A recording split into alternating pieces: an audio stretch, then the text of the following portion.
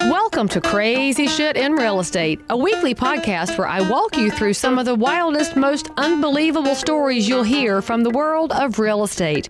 If you like real estate and you love crazy, this is the podcast for you.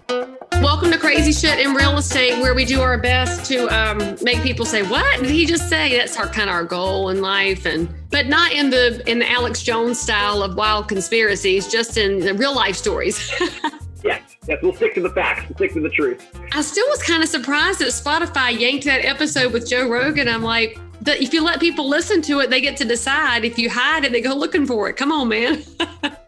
Yeah, I, I mean, it was probably just a poor choice of guests to begin with. But once you do it, then you're like censoring it. If you, you know, it's like, right. I mean, he's interesting to listen to, and I think all of us know he's wildly out there. But I like wildly out there people because I either go do my research and get more grounded or ask questions, and we should all be asking questions. Yep, I agree. You got to be curious. You got to find your own facts, and uh, you know you should you should listen to the different voices out there and make your own decision. Exactly. So, Dave, tell us where you're located. I'm up in Maine. Uh, we're getting our first, or technically second, snow of the year today. So, and friends, uh, by the way, we're recording this end of October, so that's you know, for North Carolina that would never happen, but for Maine, that's still pretty early, right? Aren't y'all a few weeks ahead of normal snow? there's usually uh, a dusting or something in October, November, you know, but it, that's those are just the warning shots. It's really, you know, December, January, February, March. Those are the snowy months. And you need that, right? We can't kill off mosquitoes if we don't get a nice, good, cold, deep snap. The ticks, the mosquitoes, you know, uh, we we Mainers love our winter sports, so you know, it's it's no problem. You're lucky to live up there. It's so pretty. So, did you grow up there? How did you land in Maine? I did. Yeah, I grew up in Maine. I, I live about a half mile from the house I grew up in, so oh. I'm kind of a bumpkin. Uh, you know, not not falling far from the tree. But well, I've traveled in life. if people have never been to Maine, which most people haven't, and you should, you got some beautiful national park land up there, and it's just stunning countryside. But I don't know if they think about how rural most of it is because people think about Portland or you think about the coast but so much of Maine, you're just driving around like this is just bucolic. It's just a yeah. great way to use that good vocabulary word. exactly. Yeah. Our motto is the way life should be. And I, I believe it. You know, that's why I've stayed because I've seen the rest of the world and, you know, I've really loved uh, the quiet, peaceful countryside and, you know, up here. So it's a great place to be. But I like North Carolina. I like all kinds of different places too. And that's the fun of real estate is you get to visit all kinds of different places. It really is. And so, what have you ever done in and around the real estate space in your life? Yeah. Besides uh, buying and selling houses yourself, because we should all have the goal of home ownership one day. Yep, I'm I'm sitting in my home, uh, first and only home so far uh, right now, and uh, you know I've been a renter when I was an entrepreneur, and I had retail stores in South America and Bolivia. I rented different uh, you know retail spaces, so I had that experience of forking over an uncomfortable amount of money and kind of burning it up in return for the right to occupy a space. And it kind of occurred to me like, wouldn't it be better to own this though? And then I fork that same money over to the bank for what is mine. so that kind of planted a seed.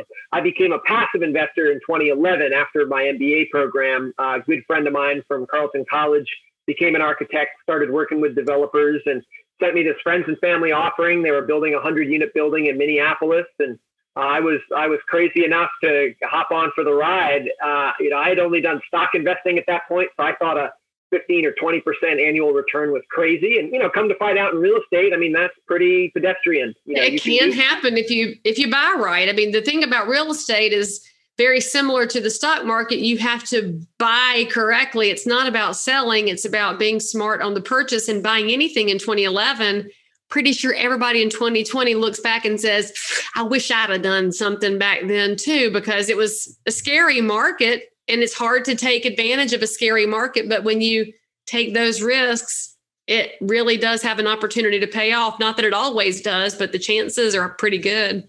Oh, exactly. And the longer you hold, the more likely you are to do well. You know, I don't like trying to time the market you know, because way back in 2016, 17, when I first started getting really active, you know, I was already thinking, man, that we're due for a recession. We're due for something, you know, maybe prices are too high. I should just hold off. Well, thank God I didn't because a lot of those properties I bought in 2017 are up 50%. Um, it's wild, you know, isn't it? It, it is. Uh, if you're in it for the long run, I, I, think you're absolutely right. You know, there's a very common expression: you make your money when you buy. I, I thought of another one the other day, though, and I want to try it out on people. Is that you also make your money when you manage? Because I have found in my own career that the management of your building uh, is, is just as, if not more important than the price that you bought it for. You know, because of your monthly expenses, yeah, that mortgage, you know, principal interest payment that represents your purchase price, that's a chunk. But the lower interest rates go, the less critical that chunk actually is compared to your taxes, your utilities. You know, I'm doing my first tax abatement uh, visit with a, a town official soon. You know, that's exciting stuff because you can cut your biggest expense, you know, way down dramatically uh, through things that people don't always think about. And note to listeners on the show who are not realtor professionals, you need to talk to your local municipality about tax abatement because it's wildly different in different states, counties, and municipalities. And so you want a tax professional to help you with things like that. Because when we talk about great management, Dave doesn't mean you have to do everything yourself, because a lot of times great management involves being surrounded by amazing professionals who can help you with those decisions. So just flash flirt alert always call a pro for things like that. That's giant and big. So anyway i totally uh, train wrecked that for a second because that's kind of critical when we talk about tax things no, to make sure people call a pro. So what are you investing in right now? Do you buy in maine? Are you buying elsewhere? Do you buy in south america? Can you buy in bolivia right now? Do you even know? Because i know the argentinian uh, market has yeah. recently changed and there's finally mortgages available in argentina again Right. Uh, my wife is, is Bolivian. We met down there. Uh, so I have the advantage of having family there. So they own property that I've participated in buying. So I could say I own it, but legally I don't. And so, your wife might get mad if you take all the credit. just saying. She's the boss. You know, that's that's how I, I run my life, and I would recommend it to the listeners. So yes, you can own all over the world. You know, we own a little plot of land in Bolivia, but all of my real estate investing recently has been up in Maine because I just love having this tactile feeling of like I can drive by properties and see the improvement in the neighborhood right there. Like that, and, and, you know, my neighbors come and thank me for that paint job that we did, you know, to the house that was the eyesore on the block. And I can't get that when my money flies a thousand miles away. I'm not saying you shouldn't invest outside your home market or that's a bad thing at all. It's just it's a personal preference. There's no wrong, wrong way to eat a Reese's here. And I think for me, the local, you know, hometown feeling is, really special. Uh, so that's why it stayed in Maine. Well, and there's something to be said too for, as you said, the neighbors will thank you, but what they see is a tangible, visible investment where you live. And I think a lot of people out there, before you get involved in rental properties and investment, you probably think it's something that has to be really nice, really fancy or you have this image in your head of slumlords and really junky stuff but there's a lot of investors out there that buy less expensive properties so that they can take care of the property and provide an affordable place for people to live. So if you're worried about affordability situation in your market or where workforce housing opportunities lie uh, you could be a part of that solution. It doesn't have to be big government. It can be investors who say, I have a heart for where I live and I want it to be better.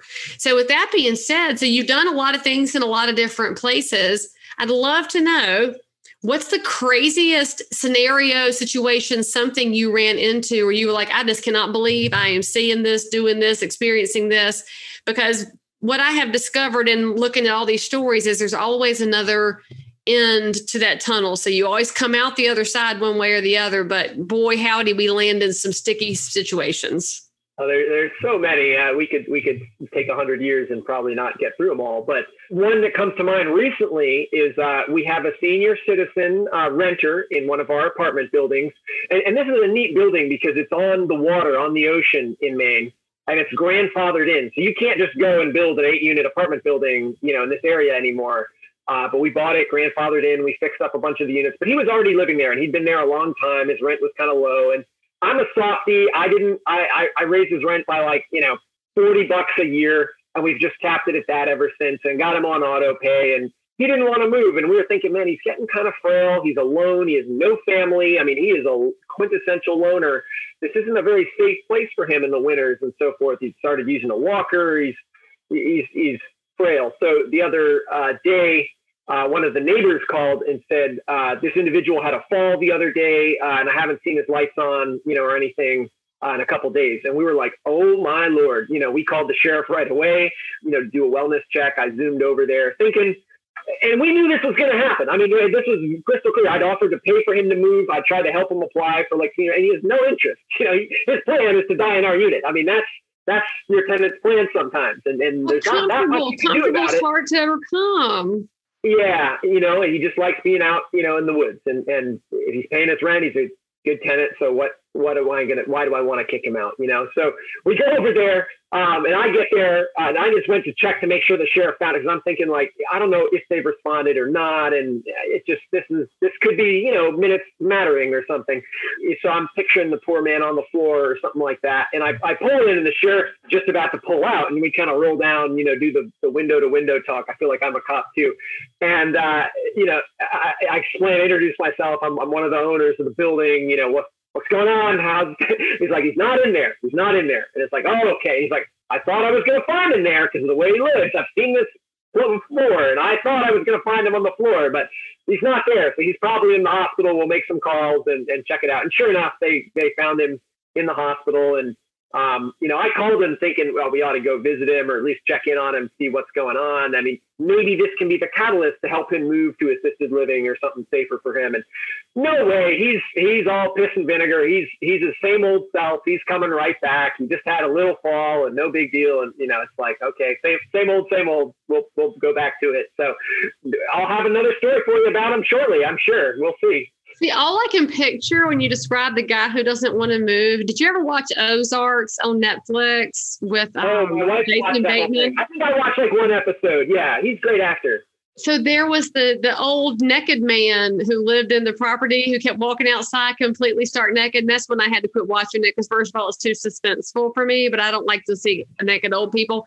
But that's all I can think of when you describe your old guy who's like, I'm not going anywhere. This is where I am. I'm good. See, now you're going to have to go back and watch like episode two or something and see it again.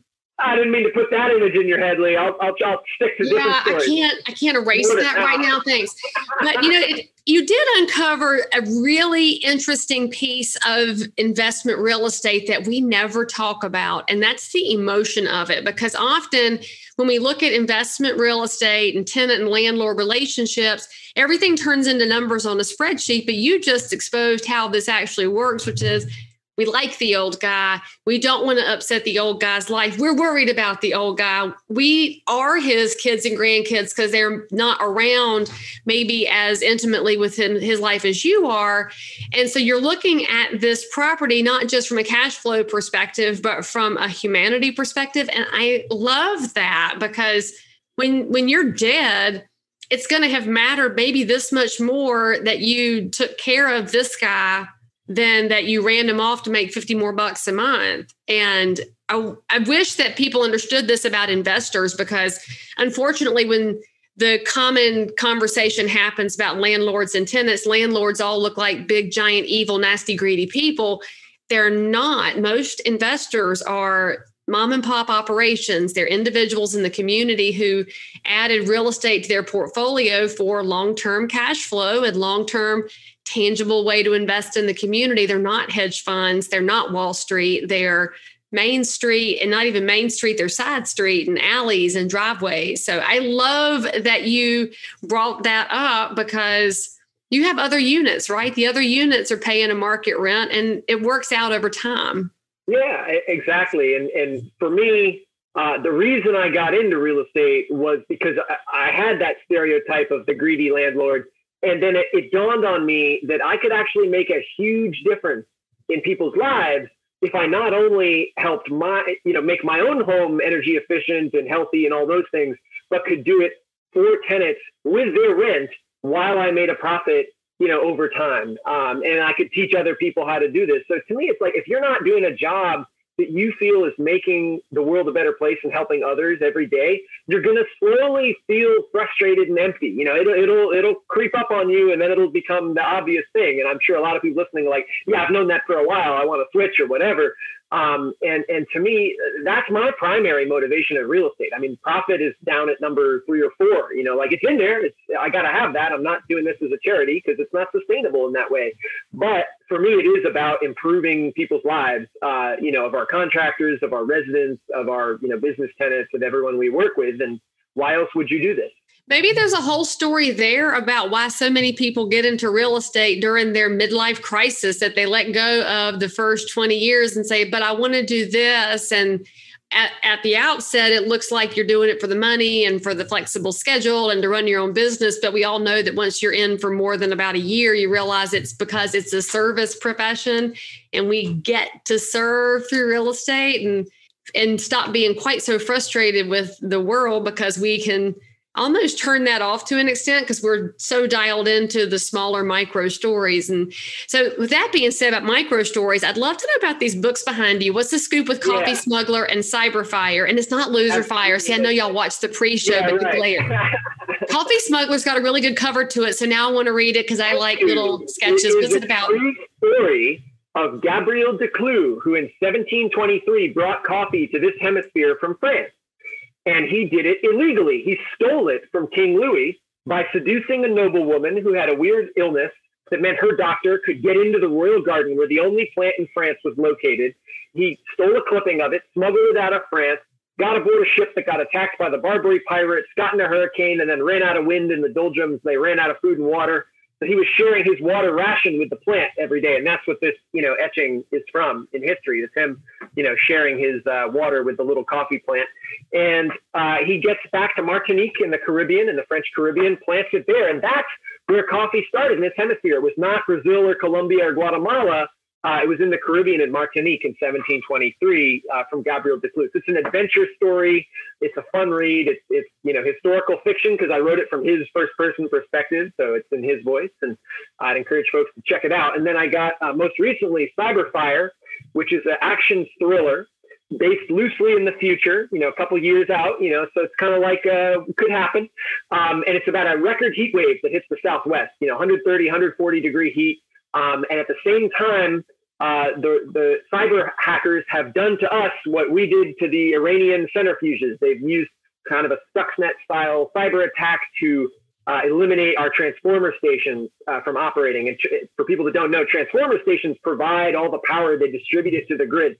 So even if your power plants are working fine without a transformer, you get no power. And they take about a year to replace, six months to a year. So if they go down in any kind of systematic way, uh, we're in deep trouble. And so that's the premise of the book. There's a couple different plot lines of people struggling to kind of make ends meet, you know, in the Southwest, and then the team of heroes trying to find the hackers and deactivate, you know, the uh, the virus. And um, it's a really good read. I hope everyone uh, finds out what happens at the end.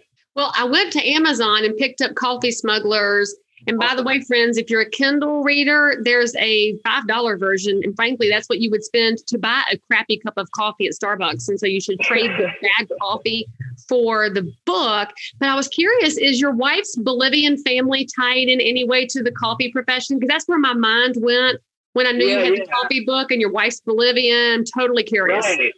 I, I would love this romantic vision of me, you know, sitting on the jungled mountainside in my coffee finca with the family. But uh, they're they're city folk, more or less. They live in a city called Cochabamba. Um, but they now run the camping stores that we started when we were living down there. Um, so if anyone goes traveling through Bolivia, uh, check out the Spitting Llama bookstore and outfitter. That's our stores and we we work with tourists and locals, and it's a lot of fun. So her family are retired; they come up and visit us and their grandkids like once a year. You might have to do one, two, three in me because maybe you'll find out there is some DNA connection. And wouldn't that be wild and crazy? Because you just never know anymore. And by the way, that Cyber Fire book, have you heard of yeah. Nicholas Smith? Do you know him? No, I don't. So he wrote a book called Trackers, and I got connected to him because one of my clients is a retired colonel who was a resource for his books, but he talks about the possibility of EMP attacks. So I right. you talk about the attacks on the infrastructure. It's a different infrastructure suspense setup, but you should totally check out his book yeah. trackers because it sounds like y'all could be you know, nerdy friends, if uh, you oh, like his book, I could introduce you. There's a great book called One Second After uh, about an EMP attack as well. I've read that one. That's good too. Yeah, that was research for this one, so you may hear some echoes. Uh, oh, so you know, yeah, yeah. so you know, I'm a I'm a big book nerd, so I love being able to showcase new things to read. All right. So, Dave, if anybody wants to connect with you, whether it's about investment yeah. real estate or about how to find a wonderful Bolivian wife or how to write a book or what books they should read, how can they reach out to you and further connect with the Son of Maine? Yes, if they if they were, are interested in investing in one of my syndications or connecting with me for any kind of guidance, happy to chat. And they should just give me a call, 207-517-5700. They can hop on my website, which is holmanhomes.com. And my email is simple. It's just dave at holmanhomes.com. So I try to be available for folks and no one ever reaches out. So you might as well be, be brave and, uh, you know, try it. So I have to tell you the funniest thing since you said nobody reaches out. So one of the books I'm reading right now is Dream Big by Bob Goff. And I love Bob Goff. Mm-hmm. In his book, he has his cell phone number in the, is it the afterword or the forward? Oh, no his, personal cell phone. And he says in the book, he's like, my editor thought I was crazy to do that because yeah. my phone would ring off the hook. And he said, you know, I maybe get X number of phone calls, but it's actually right. not that many, but he loves the ones that he gets. And so y'all should reach out to Dave because anybody in the real estate space loves to talk. And don't worry, because all of his information is in the show notes for this episode. So you can reach out at any time and he can probably tell you where to stay if you go up to Acadia National Park. So, Dave, thank you for coming on the show and for giving us a lot of different little insights and glimpses. And hopefully, you'll hear from some really interesting people to make your life more interesting going into the next year. Thank you so much, Leigh. I've enjoyed it. Thanks a lot. All right, guys, make sure you subscribe to the podcast and give five stars. That's kind of a rule around here. And always tune back in because you never know what we're going to be talking about over here on Crazy Shit in Real Estate. And I'll see you next time. If you are listening to this episode and you need to tell us something about your crazy life in or around real estate, then tweet me at Leigh Brown or reach me on any of the social networks. That's if you're a broker, realtor, investor, inspector, lender, or just a regular normal human being who happens to have dealt in real estate. Subscribe for more episodes, and as always, we are thrilled that you joined us for some crazy shit in real estate. See you next time.